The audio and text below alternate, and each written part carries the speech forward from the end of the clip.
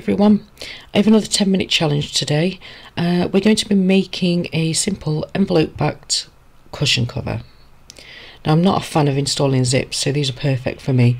Uh, I've made so many cushion covers over the last year for the uh, applique patterns that I designed.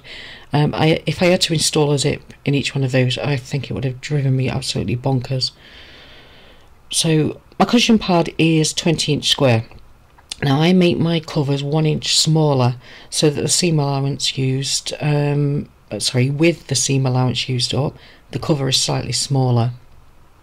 Most pads aren't filled right to the corners, so this helps to make the cushions a bit puffier. You'll need your front section cut at 19 by 19 inches and two back sections each measuring 19 by 15 inches. So, timer set. First we'll prepare the back sections. Fold over half an inch on one of the 19 inch edges.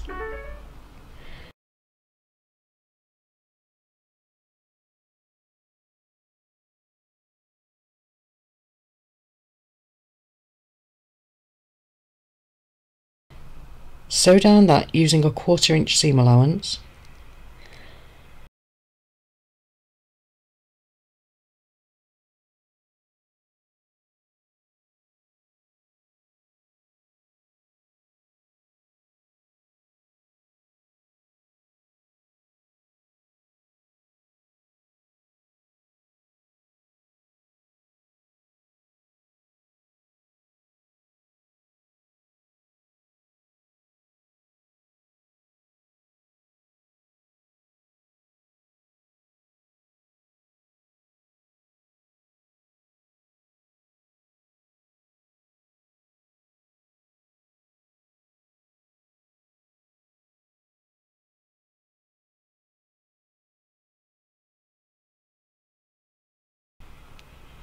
And then repeat for the other back section.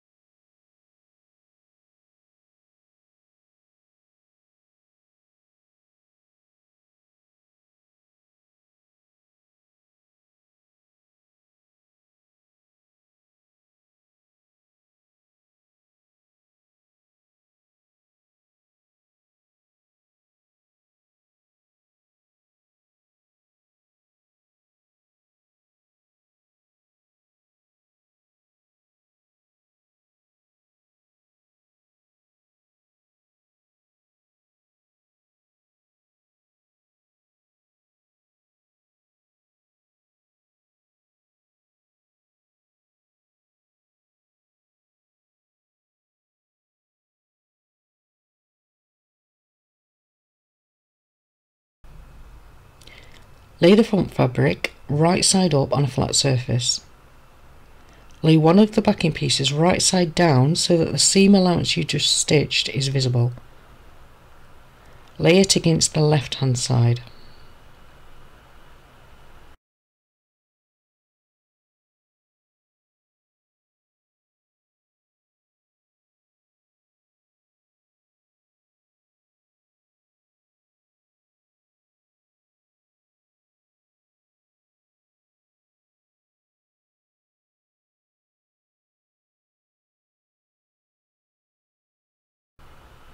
Now add the other backing piece, again right side down, against the right side of the front panel.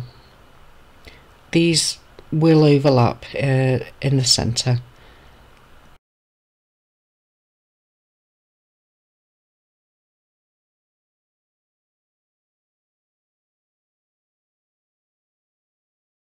Pin around the entire thing to keep it all together.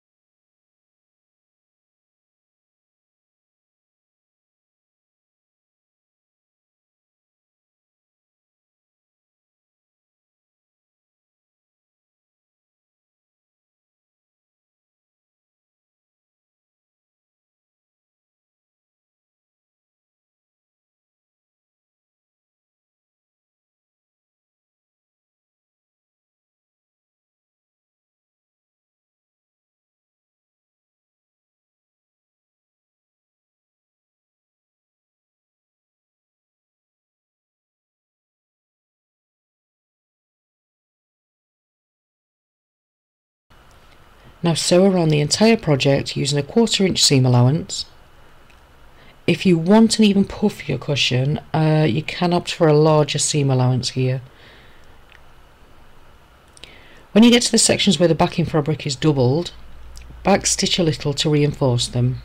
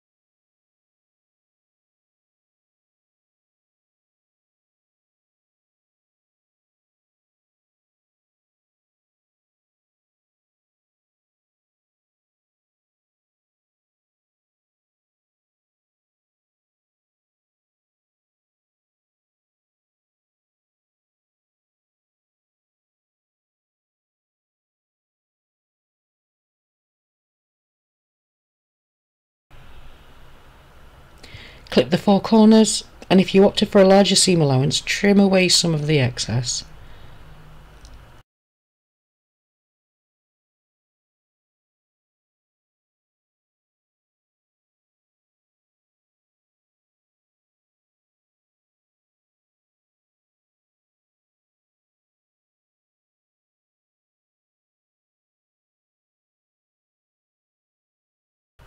Turn the cover right side out through the envelope back.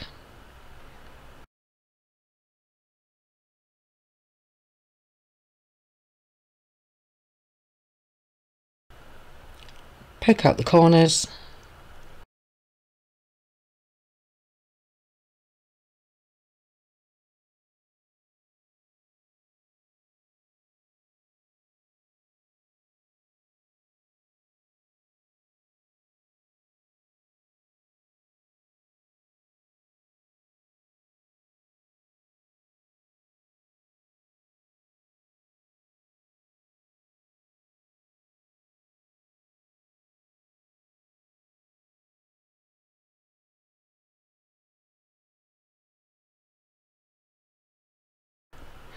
And then it's ready to pop in a cushion and there you go.